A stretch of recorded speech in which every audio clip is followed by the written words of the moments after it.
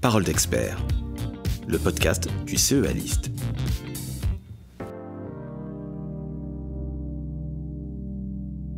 Bonjour Bénédicte Poumared. Bonjour. Vous êtes responsable du programme Santé numérique au CEA List.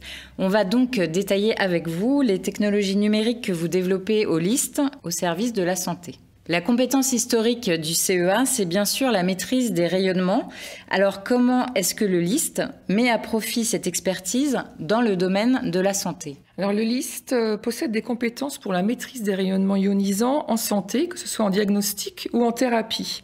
Et l'enjeu est de délivrer la juste quantité de rayonnement nécessaire en thérapie pour soigner et en imagerie pour faire l'image de la qualité choisie. Donc on s'appuie sur des compétences de métrologie de la dose pour faire ceci et des compétences en simulation et modélisation. Et on développe ainsi des logiciels qui permettent de faire un calcul précis et personnalisé de la dose délivrée aux patients. Et ces logiciels sont ensuite validés grâce aux moyens technologiques que nous avons au LIST à travers la plateforme Doseo qui possède des équipements cliniques comme un scanner et des accélérateurs médicaux. Quels sont justement les actes médicaux qui peuvent bénéficier de ces travaux de modélisation et de simulation? Alors on retrouve deux types d'actes. Le premier, c'est tout ce qui est en thérapie, donc la radiothérapie pour le traitement des cancers. Et à titre d'exemple, on modélise toutes les doses euh, dites hors champ, c'est-à-dire les doses qui ne sont pas là pour détruire la tumeur, mais qui peuvent endommager les tissus sains. Et il faut savoir que 5 à 15% des patients sont hyper euh, radiosensibles et peuvent développer des problèmes euh, suite à une radiothérapie. Donc on développe vraiment des logiciels de simulation pour réduire ces doses indésirables et les réduire au maximum lors des protocoles. Le deuxième domaine où on, fait beaucoup de simulations, c'est l'imagerie, notamment l'imagerie scanner où tout comme en radiothérapie, les protocoles sont très standardisés et pas du tout personnalisés aux patients. Et en imagerie, on ne connaît pas non plus la dose délivrée aux patients et aux organes du patient. Donc là, on développe des logiciels de simulation qui permettent de connaître cette dose de façon très précise. Donc c'est un premier indicateur. Un deuxième indicateur sur lequel on travaille, et là c'est plus de la modélisation et du traitement de données, c'est la qualité image. Et en associant ces deux indicateurs, on arrive à optimiser les protocoles pour avoir la qualité image voulue tout en réduisant la dose au minimum. Et un dernier volet où on peut travailler, c'est la radiologie interventionnelle. Donc là, en fait, on fait une opération sous rayons X. Les doses délivrées sont très élevées et très compliquées à mesurer. Et là, le laboratoire national Henri Becquerel a caractérisé des faisceaux et a défini une référence, un faisceau de référence qui permet de faire des mesures très précises de ces doses délivrées aux patients et de les réduire. Ce qui fait du LNHB un précurseur au niveau européen de la métrologie de la dose en radiologie interventionnelle. Vous avez également développé un des outils du même type de modélisation, de simulation, mais appliqué cette fois à la thérapie par ultrasons. Comment avez-vous procédé? Alors en fait, on a utilisé les compétences que nous avons au liste dans la simulation des ultrasons utilisées dans le contrôle non destructif, donc dans le domaine industriel. Donc nous sommes partis de notre plateforme de simulation SIVA, qui est reconnue dans ce domaine-là, et nous l'avons euh, adaptée pour calculer le transport des ultrasons dans les tissus biologiques, cette fois-ci, pour calculer une élévation de température au niveau de la tumeur à détruire. Et nous avons ainsi développé un module euh, SIVA Healthcare intégré dans la plateforme SIVA.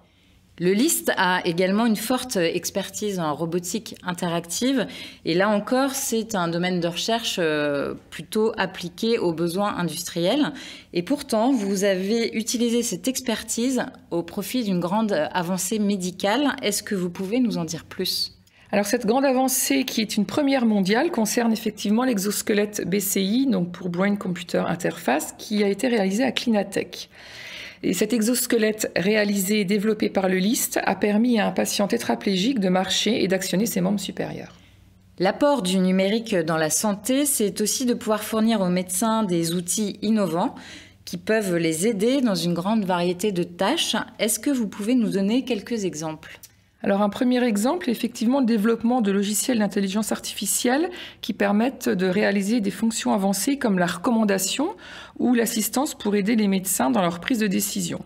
Donc une plateforme a été développée, elle repose sur l'IA basée sur les connaissances, c'est-à-dire qu'on arrive à avoir une décision justifiable et on sait produire une explication de la recommandation, ce qui est essentiel en intelligence artificielle. Donc cette assistante décisionnelle est construite sur une base de règles fournie par les médecins ou sur des connaissances. Et ensuite, en pratique, on a un logiciel qui, à partir des données du patient, donc que ce soit de l'imagerie ou des données biologiques, le logiciel applique les règles apprises et fournit des recommandations aux médecins. Un exemple d'utilisation de ce logiciel est lors des réunions de concertation pluridisciplinaire en cancérologie où il faut choisir un traitement et le logiciel donne une recommandation au médecin sur le traitement à faire, chirurgie, radiothérapie, chimiothérapie. Mais bien évidemment, c'est le médecin in fine qui décide du traitement à faire. il se repose juste sur l'aide de ce logiciel.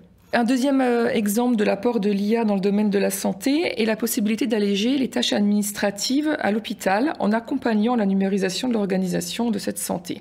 Donc un exemple, c'est un partenariat que nous avons avec Doctegessio, qui est un réseau d'établissements de soins, dans le cadre du projet DIMIA, où là, nous avons euh, utilisé les algorithmes d'analyse sémantique du LIST et ils ont été adaptés au lexique médical pour automatiser ce travail de classification, de codification des actes médicaux et des consultations. Il reste un enjeu majeur dont nous devons parler, c'est celui de la sécurisation des données médicales, ce qui permet donc de garantir leur confidentialité. Quels sont les travaux du LIST en la matière? Alors le LIST effectivement développe des solutions pour éviter euh, tout piratage des données lors de leur transfert ou lors de leur utilisation.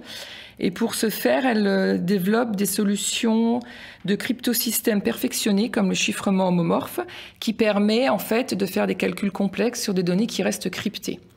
Alors ces développements-là ont vraiment un fort intérêt pour euh, l'avenir et pour la médecine ambulatoire ou le suivi du patient à domicile, donc qui est quelque chose qui se développe.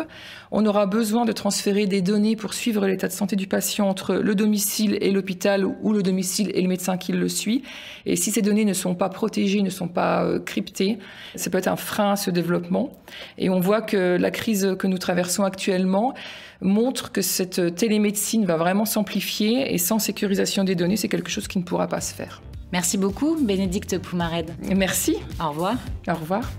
Et à vous qui nous écoutez, vous pouvez découvrir encore plus de paroles d'experts dans les autres épisodes de ce podcast proposé par le CEAListe.